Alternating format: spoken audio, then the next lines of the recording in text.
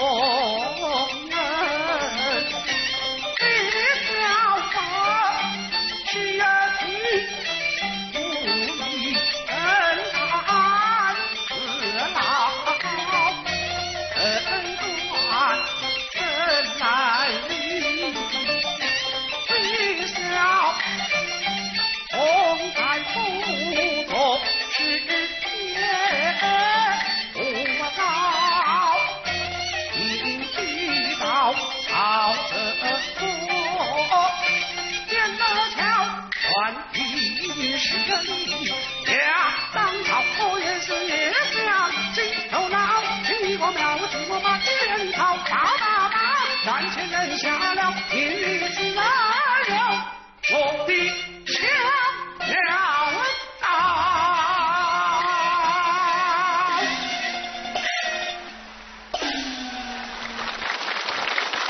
那接下来，让我们掌声请出国家京剧院的小生名家江奇虎，为我们带来《白门楼》选段，有请。